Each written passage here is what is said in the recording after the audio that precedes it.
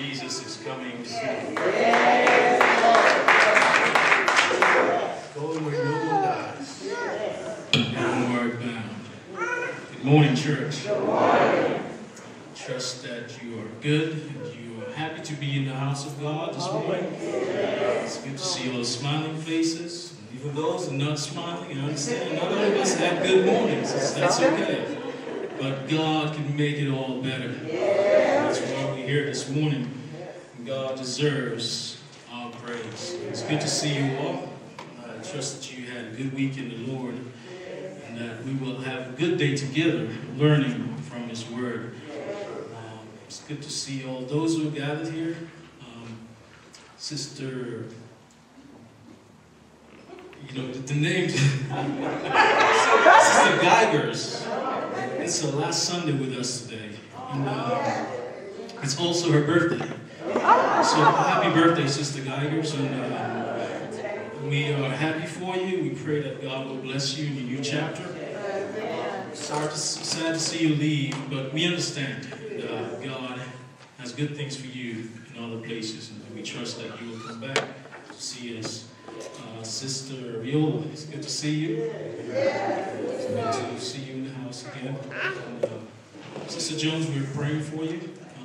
Sorry for your loss. Sister Jones lost a brother this week. We trust that we'll be praying for her and support. Um, do whatever we can to help you. So just let us know. Um, God is still good. He is good. All the time. He is good. Even when we don't understand things that happen in our lives, God is still working. And uh, it's, it's, it's not easy always to accept the, things that come, but we know we have a hope. We remember that we just down here for a little while, and that God will come back and call us home. This morning I wanted to focus our attention to the book of Joshua, chapter 20. Or we'll be studying for a little while. And I've chosen for the title for our message this morning The City of Refuge. The City of Refuge.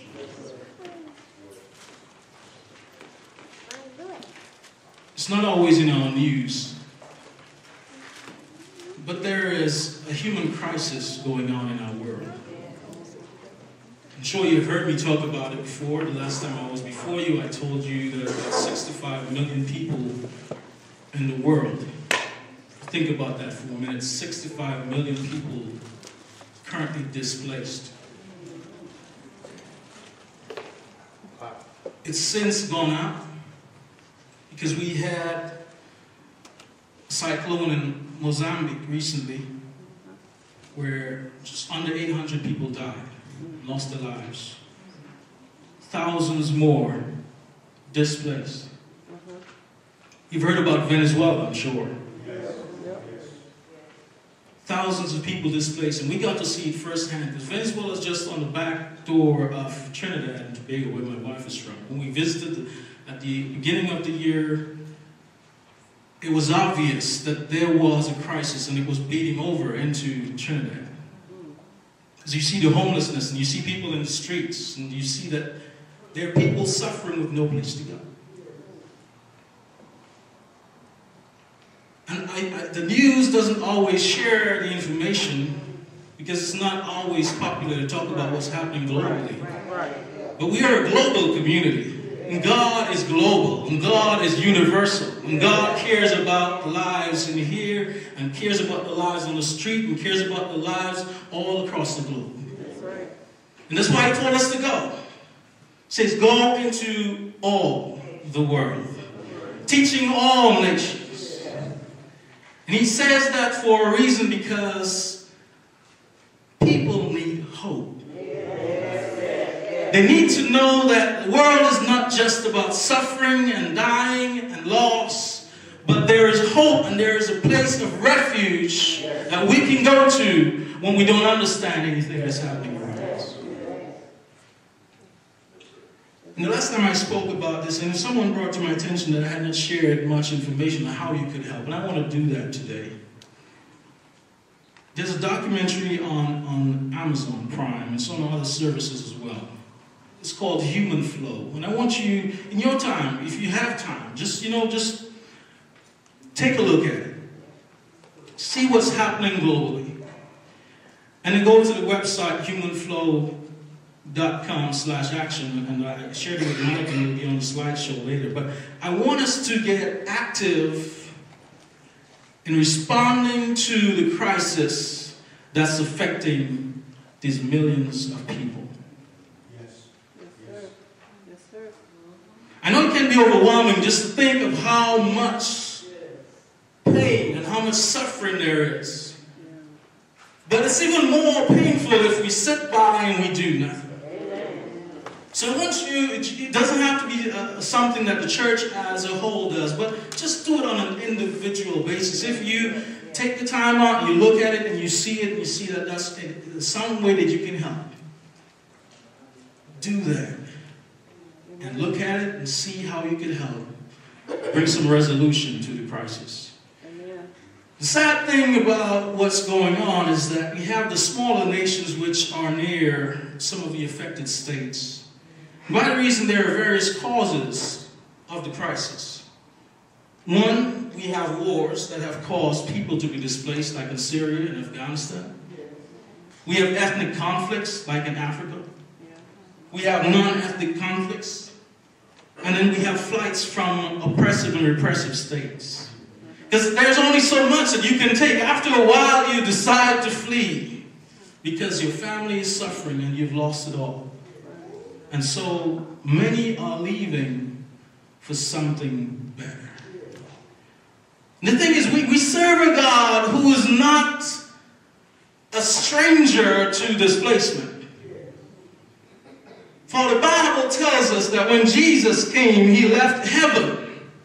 Now imagine leaving the glory of heaven and coming to live in this place called earth. That is displacement. God understands what we're going through. Not only did he come and was he displaced, but he, he came and in his birth he was also displaced because he was born with the animals. Not only was he born with the animals, but as he grew and as Herod heard of him, Herod became threatened of a baby by a baby. But we know why. He wasn't just a baby. He was a baby from heaven. But Herod was threatened and he decided, I'm going to wipe out all the babies to make sure that I get that one.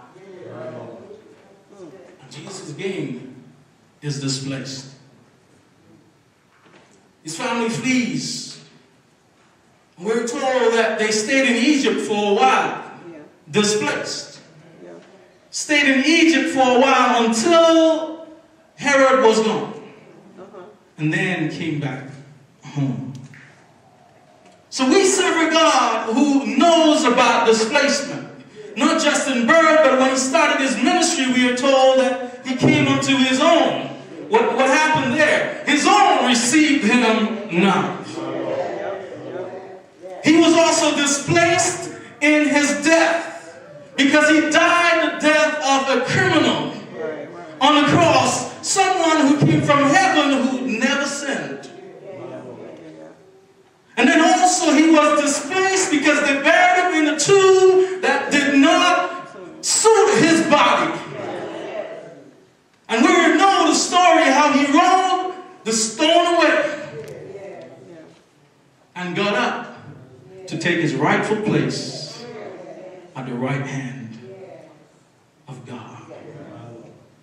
We have a God who understands and who knows our troubles.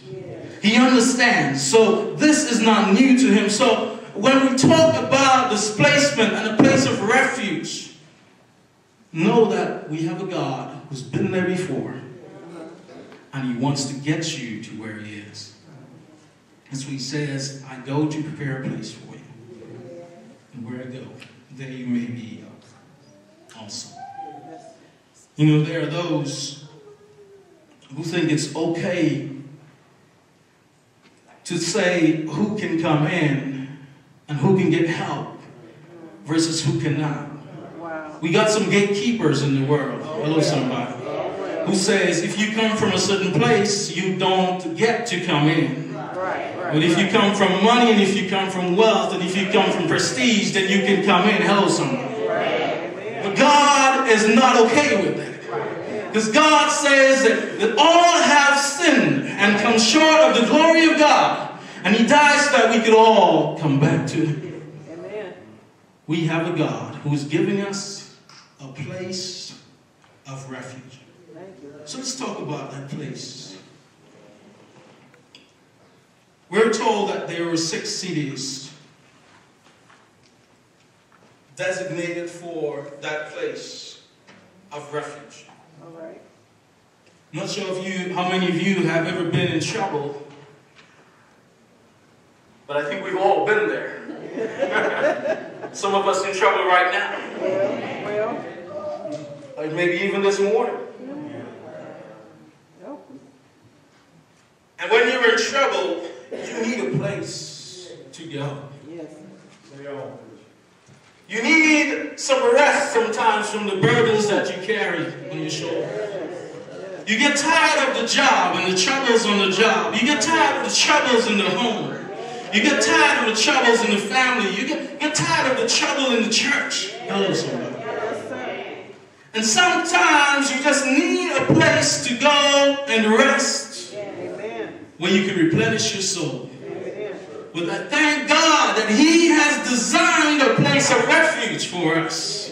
Because He knows that we get tired sometimes. And we get burdened sometimes. And that's why He says, Take your, I'll take your yoke upon me, and I will give you rest. We have a God who has given us the blessing of a place of refuge. Let's read Joshua chapter 20, verse 1. Then the Lord spoke to Joshua, saying, Speak to the sons of Israel, saying, Designate the cities of refuge, of which I spoke to you through Moses that the manslayer who kills any person unintentionally without premeditation may flee there. And they shall become your refuge from the avenger of blood. He shall flee to one of these cities and shall stand at the entrance of the gate of the city and state his case in the hearing of the elders of that city. And they shall take him into the city to them and give him a place so that he may dwell among them. Verse number 9. These were the appointed cities for all the sons of Israel and for the stranger who sojourns among them, that whoever kills any person unintentionally may flee there and not die by the hand of the avenger of blood until he stands before the congregation. What we have here is a powerful passage. God had told Moses about this sometime earlier. That he wanted him to, when the children are out of Israel, the children are out and they're scattered. I want you to set up cities. Because there was no law enforcement at the time. So he says, I know you're going to be dwelling in other nations away from each other, and I want you to have a place of refuge. Because you're going to get in trouble sometimes. And things may not always go your way, and you may do some things unintentionally. And I want you to have a place where you could go to plead your case, and your life can be spared from man who wants to avenge it. I don't know about you, but God is always the better option when dealing with problems that involves man.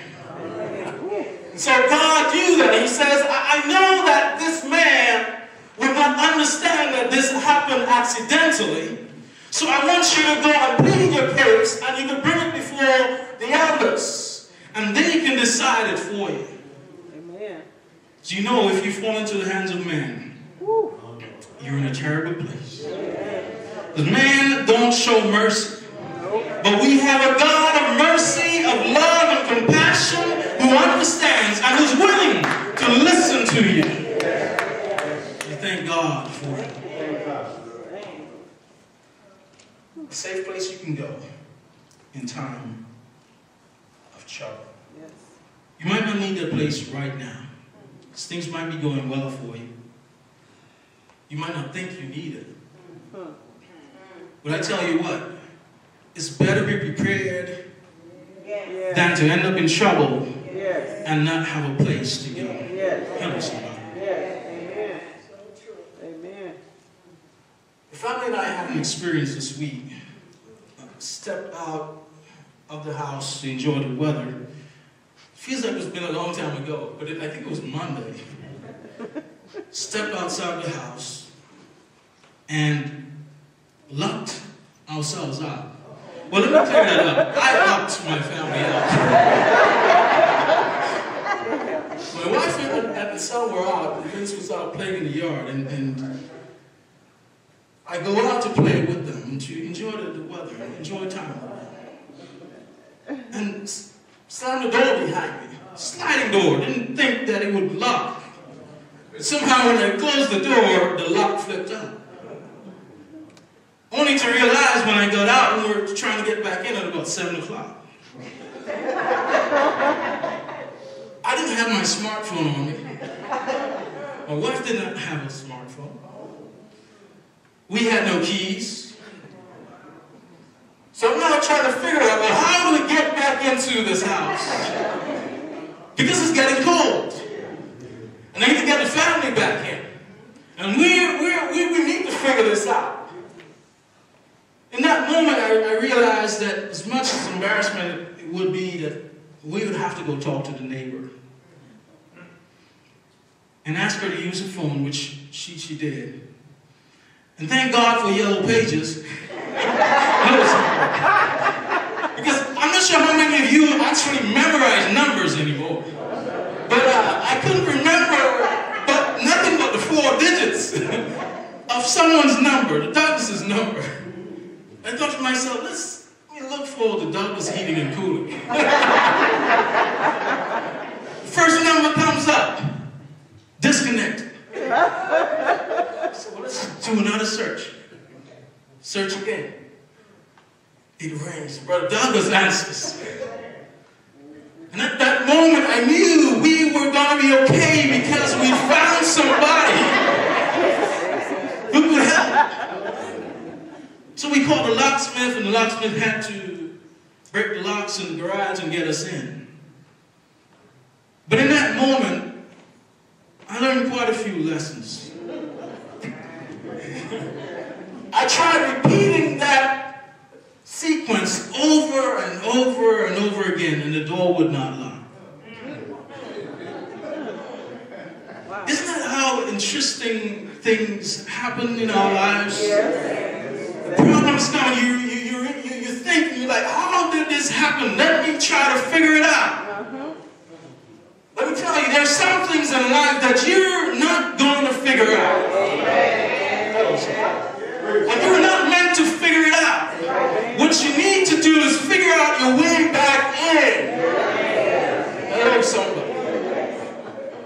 I thought to myself, with all this technology and all these smart devices and smart doors and smart locks and smart cameras, if you do not have the input device, you have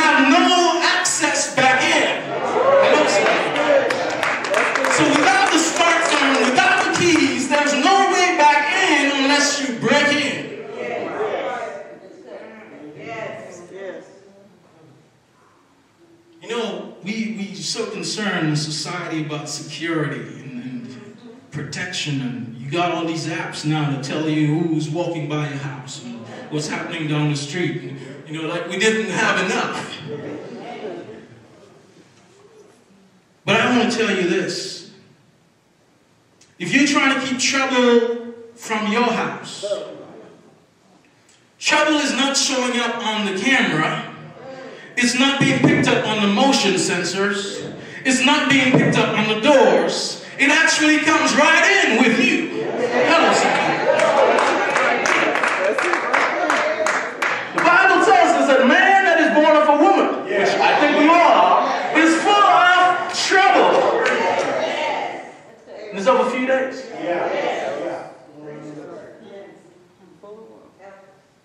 So we have insurance for the house, insurance for the cars, insurance for everything else, insurance for life. If you have pets, you might have insurance for your pets. Hello, somebody. Some of us have it so good that we have insurance for our wealth. But at the end of the day, the question I think we need to answer is do we have insurance on our lives? Do you have insurance on your soul? The security pin for your soul and for your mind? Challenge you this morning. When all these things are gone, what will be left? The most important thing to have a security on is your soul this morning. You need a place of refuge. You need to fix your soul. Soul needs rest. If your soul rests, then your body's okay. Hello, somebody. You got to make sure that we're making the right choices. We set the right priorities. That we're not trying to fix everything up and forget about the most important thing in our life.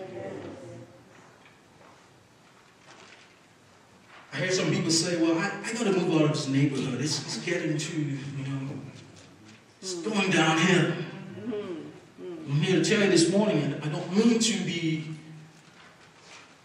resistive on that, on that thought, but I just want to tell you that wherever you go, no matter where you go in the world, some say they want to go to Dominica and Trinidad. I, I tell you that there is trouble there too.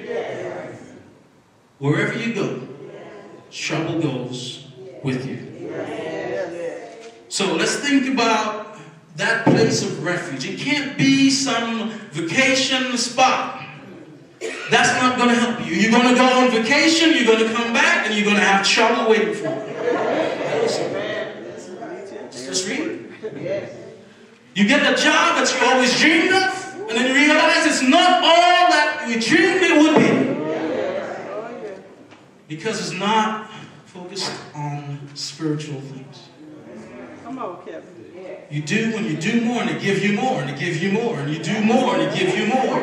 Hello, somebody. That's how it goes. Then what good is it?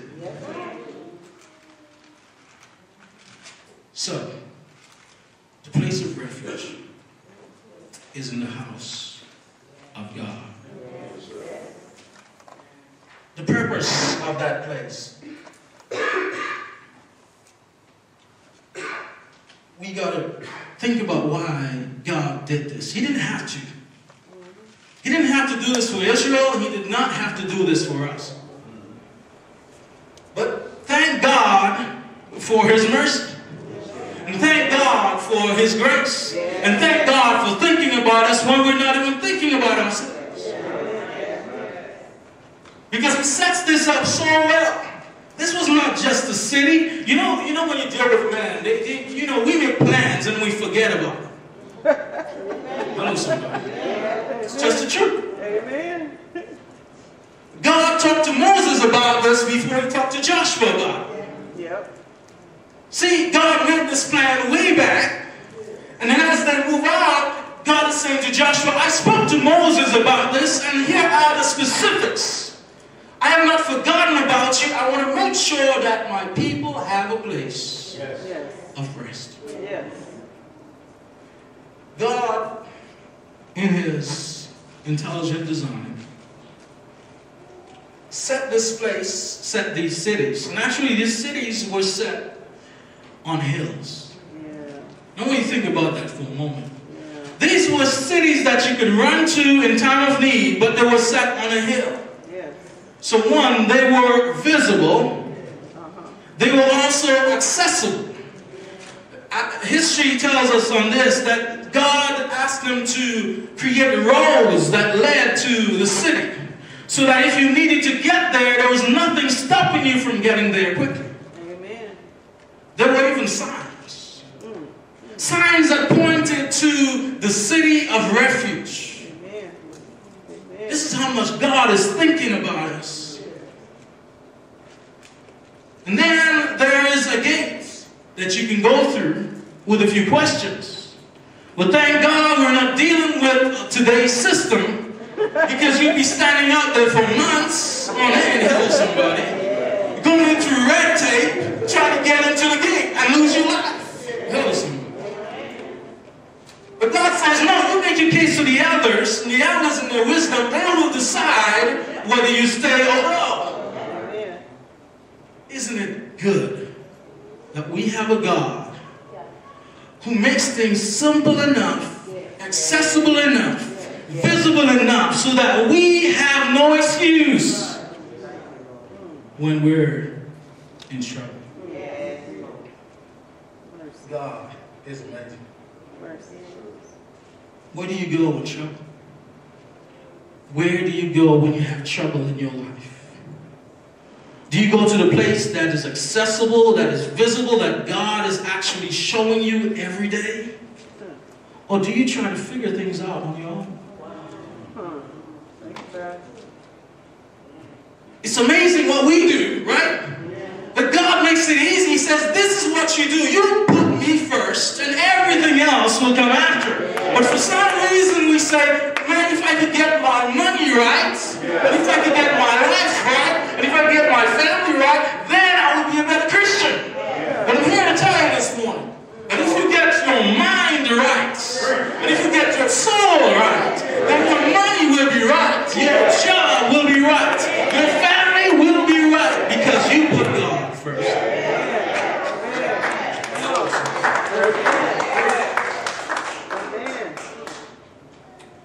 God put God first. Huh. We got to talk about the mind of refuge. So we talked about the purpose. But let's talk about the mind, which we just introduced. Man has figured out so many things in this life. Very intelligent minds that God has blessed us with. Amen. We figured out how to get man to the moon. We figured out how now to get unmanned aircraft to the moon and back. All right. does its whole orbit based on a computer program. And then lands itself on a base. We've almost figured out the self-driving car. Not sure we want to drive in one, but we've almost figured it out. So we think. But we figured out everything else. But there's some major problems in our society that we have not seemed to figure out. We still can't figure out how to love each other. We still can't figure out the immigration problem. Hello. Amen. We still can't figure out the poverty problem. And let me say, this is not because of a lack of knowledge or a lack of intelligence. One, it may be because we don't have a desire. And two, we are of the carnal mind. And the carnal mind cannot step up to the level of spirituality no matter how hard you try. You see, some things require God's direction to figure out. God's giving you a lot of things, but He, he needs you to, to, to depend on Him daily. You can't figure out everything on your own. There's some point you got to come to in your life that says, I need God in my life. Yes. So we're not going to figure it out all. Yes. But God can help us fix this problem.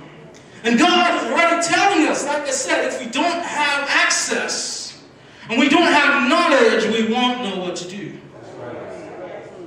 But we know that God has asked us to take care of the poor, to visit the sick, to visit those in affliction, those who are oppressed. You read the whole Bible and you see it's a story of those who need God's help.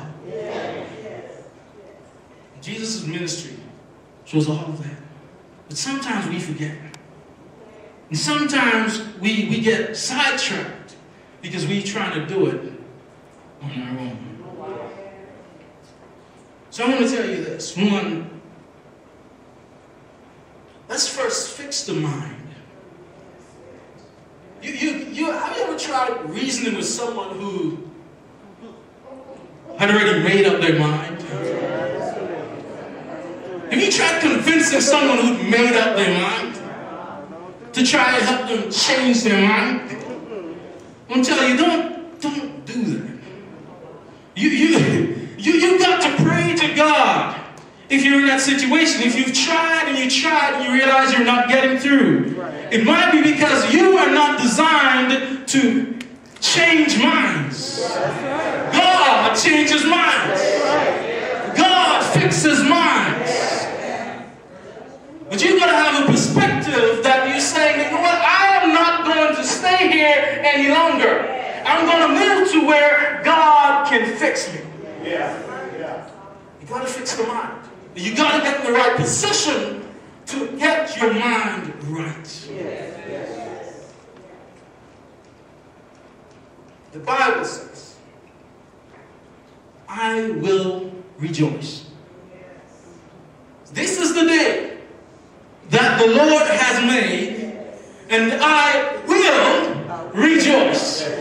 You, you know, uh, I made the decision to rejoice. It doesn't mean that everything is good. It doesn't mean that I figured out all my problems.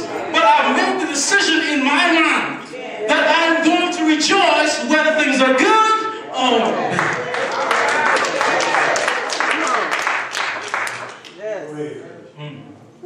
You may be sitting here saying, and the devil might be working on the mind, says, what's good about it today? What's good about what's happening in my life? You have to decide to put yourself in a position where you can fix the mind. Then, be ready to transform your mind with God's word. Because God asked us to renew our minds and transform our minds. Why? Because God knows that if you get your mind right, everything else will follow. Hello, sir. If you get your mind right, you can get your life right. Yes. The devil, the battleground is not on the streets here. God this stuff. Right. Where the devil is fighting with us daily is in the mind. If he gets in here, he knows that he's got you. And so you got to guard your mind. While we're trying to stop things from coming in through the doors, the things are coming in through what we look at and what we see and what we hear, what we look at on the phones. Things are infiltrating, hitting our minds every day. Because the devil knows that if he got your mind, he's got your life. Yes. Resist the devil. He will flee from you. You know, I get a lot of computer problems and clients come to me with a computer and they say, it did an update and my my settings are all gone. Oh yeah. Oh yeah. I start thinking, it's done an update and it's it's it's wiped everything out. Right. Right. You see, there's an option on most operating systems that says you can update and keep your settings, Uh huh. or you can update and reset to default. Yes. Uh, now, you see, you have your devices and you think it's all yours, and you, you have it and you, you have your profiles on it. But the manufacturer sold it to you. They have the default settings so that when you reset back to default, it goes back to the manufacturer default settings. Stay with me. Because your default in your mind is what you leave out of here and you go back home to do it. Hello, somebody. The default is what you do when you get up tomorrow. Your default is what you do when you get up seven days from now. Your default is whatever you do when you hit that reset button, that is your natural position. Yes. Yes. You got it. Listen. So, if you get your default settings right, no matter what happens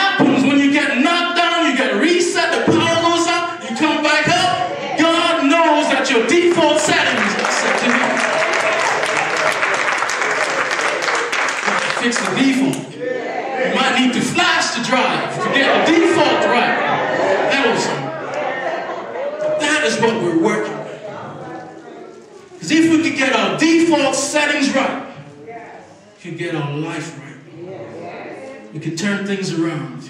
You know, the pig and the sheep, they fall both into the same pit of mud. The pig loves it. Because that's his default settings. But the sheep, because he, he doesn't belong there, he, he bleats all day long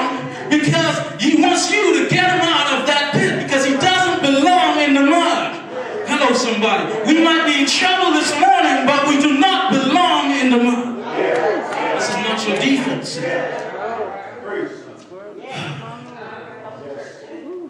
God help us. That when we fall down, we don't stay down. It doesn't mean that we're not getting get in trouble. You're gonna go back home. The bills are still gonna be there. The trouble's still gonna be there. Everything that you left is gonna be yes. You left. But what it means is that when you get in trouble, your default response can be different. Your default response does not have to be carnal, but instead can be spiritual. Because you've been to the place of refuge. You understand the purpose of refuge and now have a mind of refuge. The Bible tells us at the end that when they went to the city of refuge, he says, get things right and then return home. I want to encourage you, if you've tasted of God's glory, don't keep it to yourself. Return home. Return back to your job. Return back to your families and tell them about the goodness of God and that place of refuge. If you're here this morning, you're struggling, you need a place to go, you found it. In God, we have a place of refuge. If you're here and you need God, you've been trying all different things, let me tell you, we can stop right now. Because the things that we're trying, they're not going to get us any closer to where we need to be. Until we pick up the Bible. Until we open God's Word. Until we accept God's Word for what it is. And we change our minds. And spin things around. And you repent. You accept God as your Savior. Jesus as your personal Savior. And you go down in baptism, you come up.